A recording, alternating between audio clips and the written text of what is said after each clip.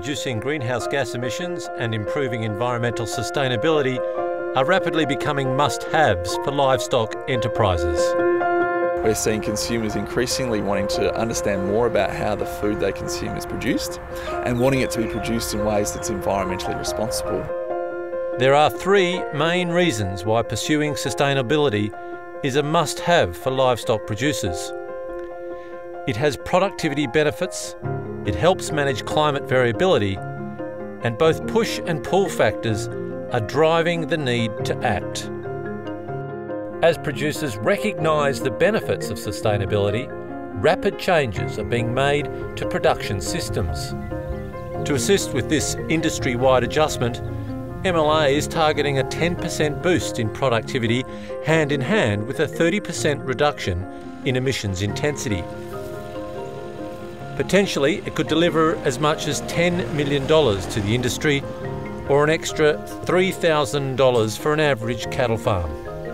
If you can produce beef efficiently, what it means is uh, you're actually producing more beef for the same amount of, uh, of methane. Um, so that's a, a more carbon friendly beef production system. We're joining our heifers as yearlings, which for our area is probably a little bit different because they're only in that weight range probably from about 260 to 320 kilos when they're joined. So instead of having to carry those females an extra year in basically what's an unproductive um, state, we're actually getting them into production a year earlier. So that's, that's the big thing that's making a difference. I guess in terms of the, the push factors for a producer are really things like government regulation. So we hear a lot about carbon trading, carbon price, carbon taxes, emissions trading schemes.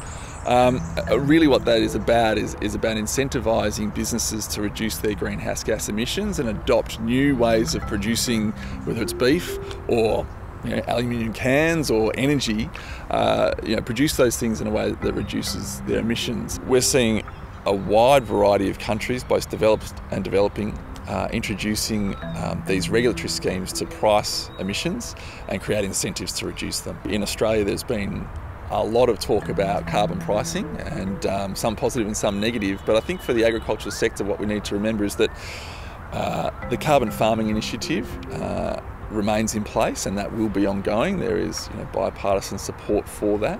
Um, and so that creates this ongoing incentive for farmers to look at their emissions and, and opportunities to reduce them. Peter Holding is changing his farming model to better suit the changing climate. He's a strong advocate for embracing new technologies and research to inform that change. When it comes to climate change with the sheep industry, I think the major issues of profit drivers are going to be the same as ever, and that is stocking rate and growth and the amount of meat you turn off or the amount of wool you turn off per hectare. So we are probably going to move to a feedlot, but the trouble with this area with feedlots is that we get extremely hot days, which are getting worse with climate change, so we can't do that in the summertime, and we're getting storms and bad weather in the wintertime, which is another issue.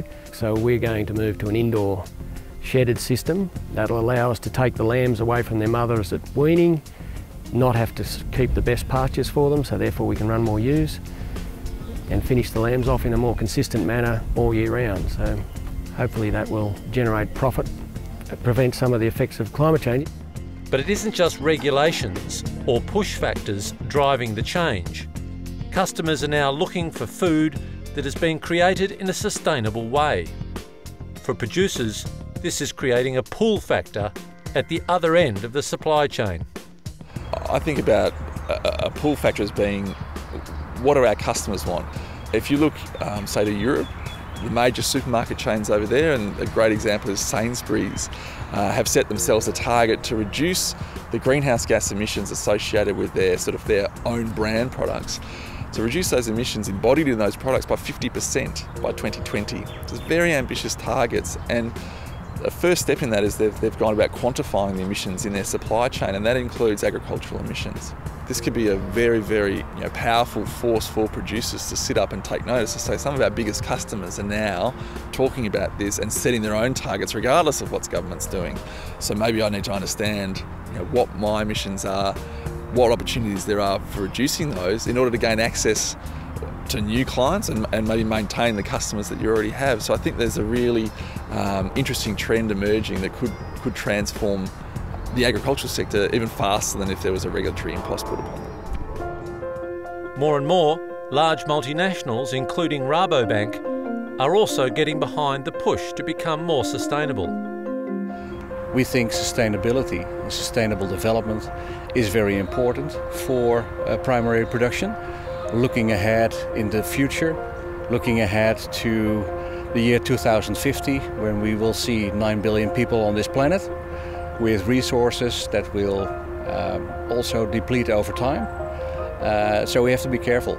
As a global player in the agricultural sector, they are seeing firsthand the shifts in production models around the world.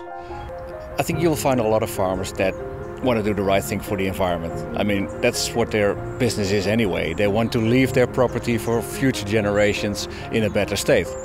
But if they have an opportunity to actually do that, and increase their productivity and increase their profitability.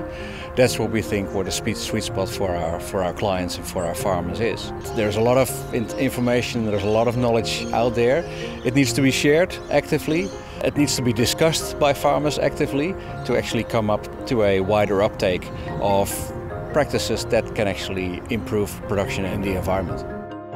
The changes Peter Whip has introduced have already had a dramatic effect on his bottom line. Our emissions intensity is down by about 25%, uh, but at the same time our gross margin's up by about 180,000, which for us is, is, probably the key to, to future survival. Farm 300 is a program initiated by Meat and Livestock Australia with the Department of Agriculture as part of their extension and outreach program. The three components of the program are to firstly make sure that all the latest R&D is available to producers and advisors through our website but also other publications.